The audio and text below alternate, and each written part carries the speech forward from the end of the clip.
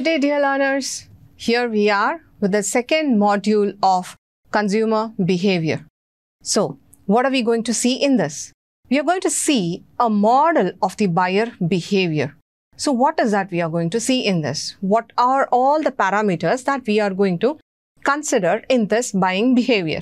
So, here we have the uh, main attributes called the marketing mixes, which is the psychological variables induced by the marketer.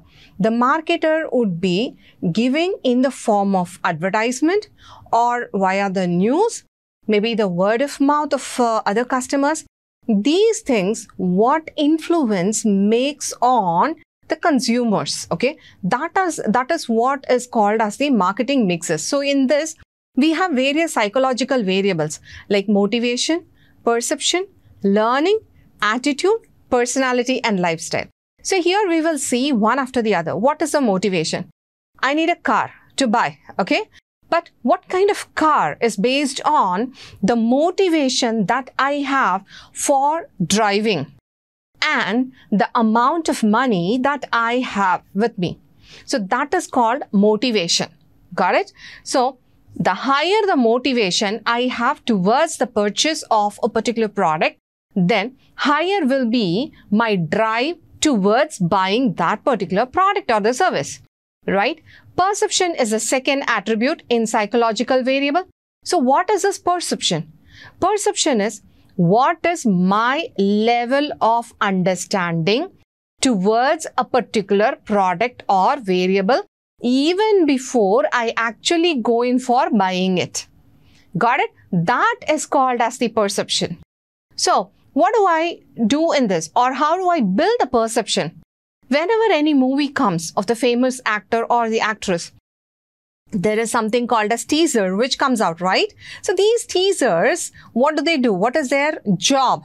They create an expectation from the movie. The movie is going to be wonderful, awesome, excellent. So that expectation is built among the people. That is the perception that the people are going to get. Got it? So the higher the perception, okay, the better will be the understanding or whatever.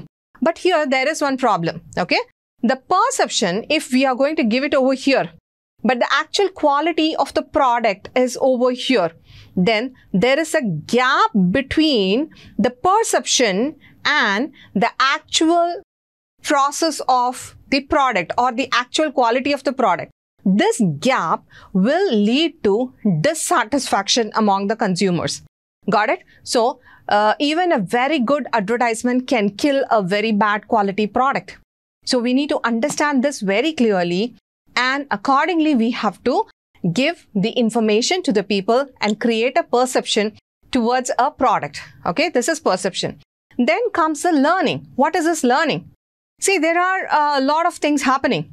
E-commerce websites are coming and we are going towards the digital, right? The digital transactions.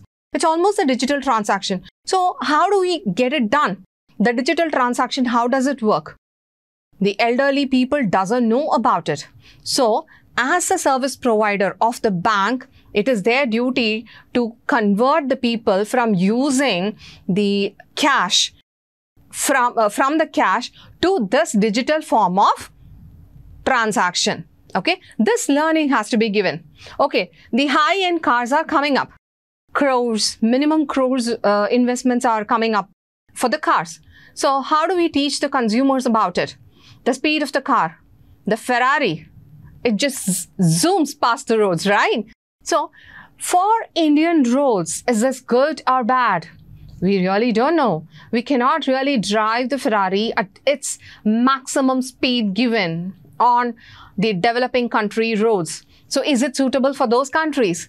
that learning has to be given. Okay. Given that this is the maximum speed, how we can drive the high-end motorbikes.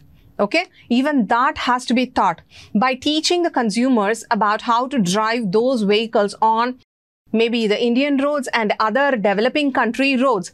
How do we do it? Okay. That learning has to be imparted. That will reduce the number of accidents that take place because of those speeding vehicles on the road. Got it? Then comes the attitude. Attitude of the people. If a per person's attitude, it's towards, you know, the rich mindset. We call it rich mindset and the poor mindset. That decides whether I'm going to go for a branded one or a, non-branded one. So if my attitude is, uh, say, a go-getter and a rich mindset, I would be going for the branded cars, a really good ones in all that. I will be attracting money towards buying them. Okay, that is a different subject altogether. Then comes the personality and the lifestyle. My personality, what do I uh, presume my personality to be and what is my lifestyle is. If my lifestyle is all about, you know, earning good money, investing them, having a fun life and all that, that will allow me a leverage to buy branded things. I may be going for Ferrari cars also, right? Got it? Okay, apart from these marketing mixes, the second attribute we can access is the other stimuli. Maybe the social influences. What are the social influences? The family influence, the social class influence, reference groups, the culture of the person who uh, who is involved in buying. Okay, so all these things, the family, the societal, the friends group, the other social groups, these influence the people towards buying a particular product, uh, the brand or the service. Okay. Then comes, okay, these things lead to the problem solving process of the decision making whether should I buy brand A, brand B, brand C of a particular product category. Now, based on this product mixes and the other stimuli, I have the purchase selection. What is a purchase selection? I have the purchase reason, the timing, and the surroundings. Why do I need this particular brand? I need a car to travel. I need a car to satisfy my ego. I need a car to manage my uh, societal image, my lifestyle. What time am I going to buy this? Based on my surroundings, my lifestyle, what is it brand I'm going to buy? If I'm having a, uh, say, a rich lifestyle, okay, I earn good. And if I'm going to buy a Tata Nano car, what will the society talk about me? That is something which affects my ego. Okay. So all these factors put together allow a person to decide whether to buy a particular brand or not to buy a particular brand. Got it? So this is with regard to the model of a buyer behavior. So let's see the psychological variables, intrapersonal variables one by one. The first one is motivation, perception, learning, attitude and belief, and personality, lifestyle. So this is what we just saw. So what is this motivation? So let's see uh, deeper one by one. So what does this motivation mean? So motivation is a need sufficiently stimulated that an individual is moved to seek satisfaction. It could be either physiological or psychological many different motives are often involved in the purchase. It's not just physiological all the time. It may also be psychological. So we have the Maslow's hierarchy theorem or the hierarchy of needs, which helps us to understand the motivation. Okay. So let's see that. So what is this hierarchy of needs? Say, for example, um, I'm hungry. I need a food. I need food. Any damn food. I'm hungry since morning and now it's say somewhere in the late evening. I'm so hungry. Whatever may come on my way, I would prefer to eat. That is a physiological need. I need rest. Okay. I need food. I need something to drink. I need a house where I can relax. I need clothes to uh, project myself in a good manner in the society. So these are called the physiological needs. Okay. Next come the safety needs. Safety needs is what? the protection for and physical well-being. Say, for example, uh, I may need the medical support whenever it's required. So I need the monetary uh, wealth so that I may able to take care of me and my family whenever any health emergency occurs. I should be comfortable enough to deal with that. That is a safety need. In case of emergency, I need money to spend for it. Okay. That is a safety need. Then comes the so social needs. Social needs is, um, say, if I'm going to own the same old button phone, even today, what will the society think about me? What will my friends group think about me? What will my family think about me? I may be cut off from the world. Okay. That is the social needs. It could be with regard to need for the love, friendship, the status, esteem, and acceptance by the others. Okay. Then comes the personal needs. This is um, uh, maybe self-esteem, accomplishment, fun, freedom, relaxation. So you go on tours, you go for vacation, so on and so forth. So this is with regard to the Maslow's hierarchy of needs, which the marketer keenly observes so that they can project their product or the service in a particular category and then give it a go to the consumers. Okay. Then according to in which category these products or the service fit in, the marketers would be designing the uh, advertisements. Got it? So what is belief? Belief is a knowledge that a consumer has about the object, their attribute, and their benefits. Okay, what do I believe? Okay, so that is with regard to object attribute belief, attribute benefit belief, or object benefit belief. So there are three kind of belief.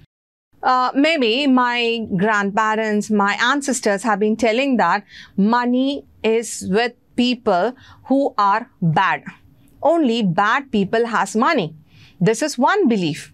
Okay. So this will lead to a wrong belief system in one's life. Okay. If I go, uh, you know, fast driving on the road, I may meet with accident. So these are all certain beliefs that people have.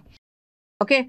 Uh, it could be like, if I'm going to buy this particular color product, it might not be good. So this is the belief category which goes in play. Then we have the perception, process of receiving, organizing and assigning meaning to stimuli detected by the senses. So there are, uh, uh, these are impacted by the selectivity, selective attention, only certain uh, colors capture us, only certain uh, jingles capture us. Maybe we are just watching a particular movie or something, we are just relaxing at home. Our parents talk about something and in between our name is heard. Immediately we focus our attention over there. This is selective attention. Okay. Certain things ca catch our ears. Our sensory organs become sharp when we hear certain words. Okay, that is selective attention. Selective distortion is certain things are blocked from our sensory organs. We don't even look at those objects or the product or the service when they are getting projected. Belief system. This is all based on the belief system of people, the attitude of people, and the perception of people. Okay. Then selective retention. What is selective retention? Selective retention is, though I hear lot many things throughout the day, I don't retain every single part of it. But there are certain things which are near to me, I'll be able to uh, retain them and then apply them in my life. Got it? So this is with regard to perception. So in today's session, we saw about um, the model of the purchase behavior and we saw the psychological variables in detail with regard to motivation and perception. Okay. These two things we went in detail and the remaining part we saw just as a bird's eye view. Okay. So the remaining we can see in the next class. Thank you.